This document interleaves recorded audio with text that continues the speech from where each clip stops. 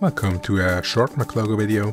Um, as you can see, um, this is a custom OSD, and you can also uh, clearly see that this is now in the in the feed that in the footage that I've got. It's actually the, the fit footage, but it doesn't matter. You could also add it to the um, to the DVR footage if you use the files. Um, and um, the nice thing it is this is uh, from a tool from somebody in the community. Uh, his name is Kirek, and um, he has created the tool. Um, I think it's maybe beta state um, version 0.6. It's called the OSD overlay tool. Really awesome, um, easy to handle. Just drag and drop your files into the tool, and you can actually render the the whole file.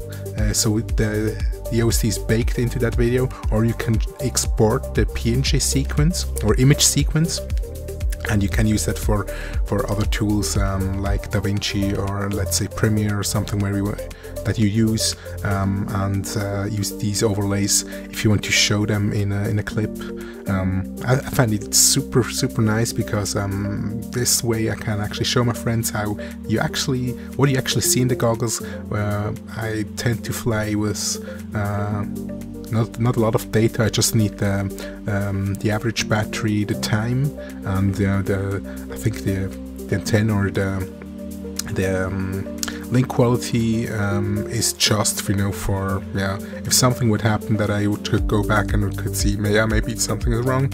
Um, by the way, I'm flying with 200 milliwatts here because I I didn't set it correctly, but even even with 200 milliwatts, it has still um, enough actually um, range and, and uh, good uh, quality.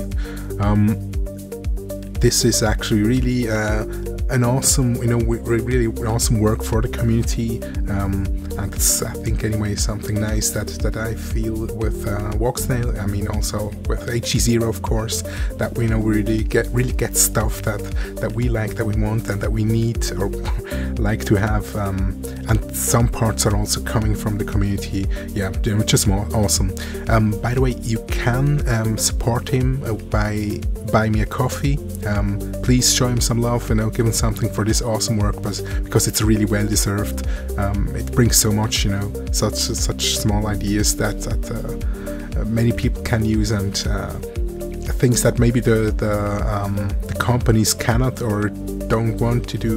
Um, that can be done by the community. It's it's really awesome, and you know, yeah, give him kudos. Um, I will link actually the the GitHub uh, to the the files and also link his uh, buy me a coffee uh, into underneath so if you want to donate please do and um, you can find also detailed information know, on how to on the Walksnail Discord. Anyway, a good place to to um, hang out, to be with lots of information if you're interested in the, in the system.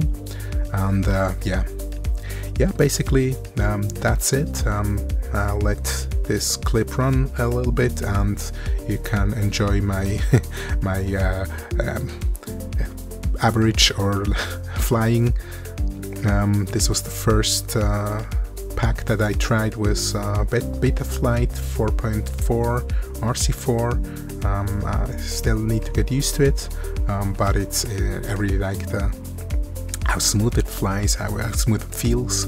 Um, yeah, but um, of course I, I don't know do not yet know how it how it actually handles or how near I can uh, get to the ground and pull up and stuff.